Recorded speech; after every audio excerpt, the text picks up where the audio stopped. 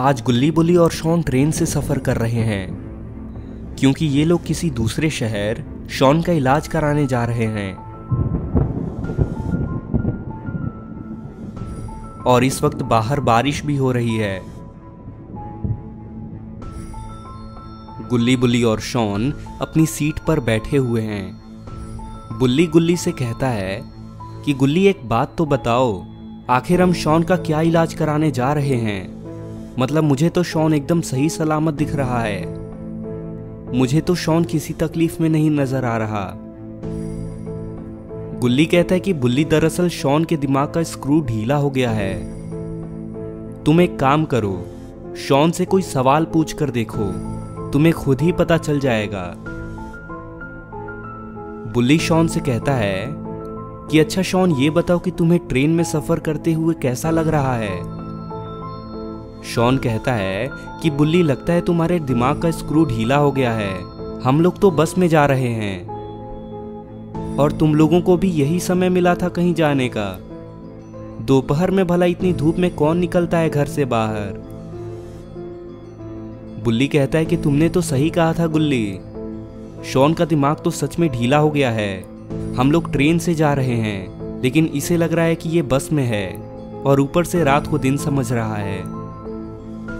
गुल्ली कहता है कि इसी को तो ठीक कराने के लिए हम शॉन को डॉक्टर के पास ले जा रहे हैं। शॉन कहता है कि डॉक्टर के पास क्यों जा रहे हो तुम गुल्ली? तुम्हारी तबीयत तो ठीक लग रही है। गुल्ली कहता है कि अरे शॉन, तुम एक काम करो। तुम तब तक हेडफोन लगा के कोई भोजपुरी गाना सुन लो। उससे तुम्हारा मन भी लगा रहेगा। शॉन कहता है कि लेकिन हेडफोन कहाँ है यहाँ गुल्ली? बुल्ली कहता है कि अपने बगल में तो देखो शॉन, ये रहा हेडफोन। हेडफोन कान पर लगाकर, तब तक थोड़े ठुमके लगा लो, तुम्हारा मन भी लगा रहेगा। और शॉन हेडफोन में गाना लगाकर डांस करने लगता है। बुल्ली कहता है कि गुल्ली, शॉन तो काफ़ी अच्छा डांस कर रहा है। क्यों ना हम भी थोड़े ठुमके लगा ही लें। और फिर गुल्ली बुल्ली भी शॉन के साथ डांस करने लगते हैं।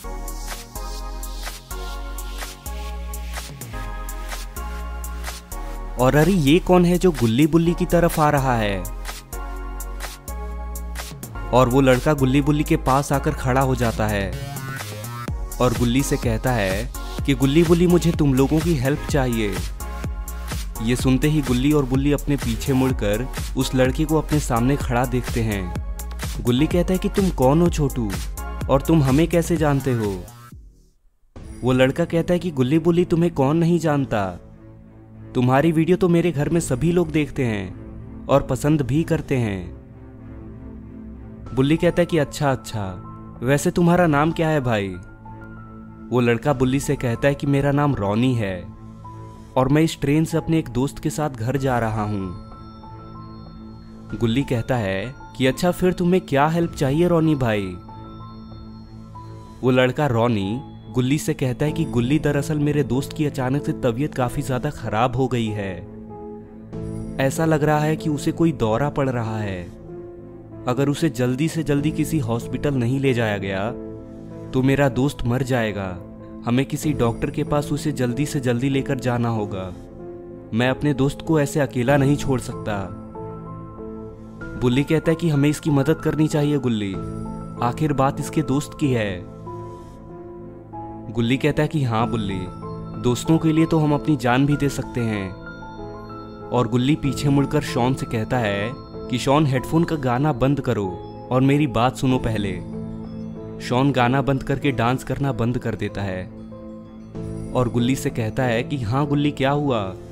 तुमने मुझे डांस करने से क्यों रोक दिया? और अरे, ये तुम्हारे पीछे कौन खड़ा है? बुल्ली कहता है कि शॉन, ये रॉनी है। और रॉनी हमारे साथ इस ट्रेन में सफ़र कर रहा है। लेकिन अचानक से इसके दोस्त की तबीयत काफ़ी ज़्यादा खराब हो गई, और इसलिए हमें इसके दोस्त को लेकर किसी हॉस्पिटल में चलना होगा। शॉन कहता है कि गुल्ली बुल्ली जहाँ बात दोस्ती की आ जाती है तो मैं बहुत इमोशनल हो जाता हूँ। मैं बचाऊँगा इसके दोस्त की जान। चलो जहाँ चलना है। मैं तुम्हारे साथ हूँ, रॉनी भाई।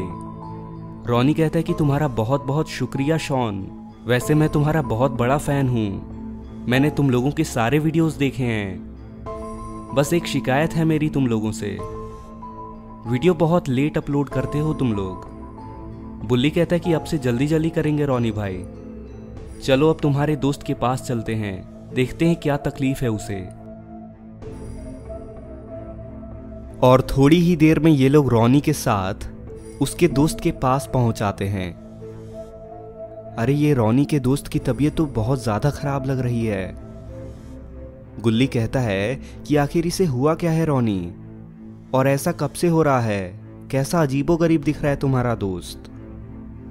रोनी कहता है कि गुल्ली, यही एक घंटे से मेरा दोस्त इसी हालत में है। मुझे कुछ भी समझ में नहीं आ रहा था। इसलिए तो मैं तुम लोगों के पास हेल्प के लिए आया। बुल्ली कहता है कि इसकी तबीयत बहुत ज़्यादा ख़राब है, गुल्ली। हमें यहीं रास्ते में किसी जगह उतरना होगा और किसी हॉस्पिटल में दिखाना होगा, वरना कहीं इसकी जान खतरे में ना आ जाए। शॉन कहता है कि ठीक है, गुल्ली बुल्ली।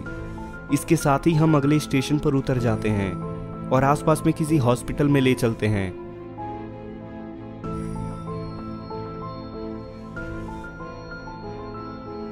और ये लोग उस लड़के को लेकर एक जगह आगे ट्रेन से नीचे उतर आते हैं।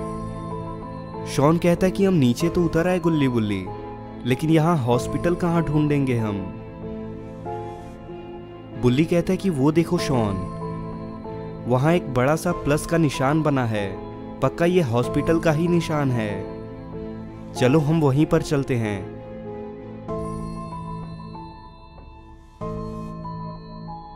और ये लोग उस हॉस्पिटल के सामने आ जाते हैं। रॉनी कहता है कि ये तो बड़ा डरावना लग रहा है गुल्ली बुल्ली। मेरा तो मन ही नहीं कर रहा है अंदर जाने का। गुल्ली कहता है कि जाना तो पड़ेगा ही ना, रोनी। नहीं तो तुम्हारा दोस्त बचने नहीं वाला। मजबूरी है हमारी भी। लेकिन अरे ये क्या? ये हॉस्पिटल का दरवाज़ा अपने आप कैसे खुल गया? रोनी कहता है कि ये दरवाज़ा अपने आप कैसे खुल रहा है गुल्ली बुल्ली? शॉन कहता है कि अरे रोनी भाई, डरो मत। हवा से खुल गया होगा। चलो चलते हैं अंदर। लेकिन इन लोगों ने यहाँ पर आकर बहुत बड़ी गलती कर दी है। क्योंकि यहाँ पर एक पागल, डॉक्टर डी रहता है। और जो भी यहाँ इलाज कराने आता है तो डॉक्टर डी उन सभी को मार देता है। और उन लोगों पर एक्सपेरिमेंट करता है। और लगता है आज डॉक्टर डी इन्हीं लोगों पर एक्सपेरिमेंट करने वाला है। तो दोस्तों, क्या लगता है आपको? क्या ये लोग भी डॉक्टर डी का शिकार हो जाएँगे? क्या ये लोग यहाँ से बचकर निकल पाएँगे? ये देखेंगे हम इस कहानी के अगले भाग में। तो दोस्तों, अगर आपको ये वीडियो पसंद आई हो तो इस वीडियो को अभी एक लाइक कर दें और नीचे लाल कलर के सब्सक्राइब के बटन को दबाकर चैनल को सब्सक्राइब कर लें और साथ ही नोटिफिकेशन बेल को भी दबा दें ताकि जैसे ही मैं इसका नेक्स्ट पार्ट अपलोड करूँ तो आपको तुरंत पता चल जाए।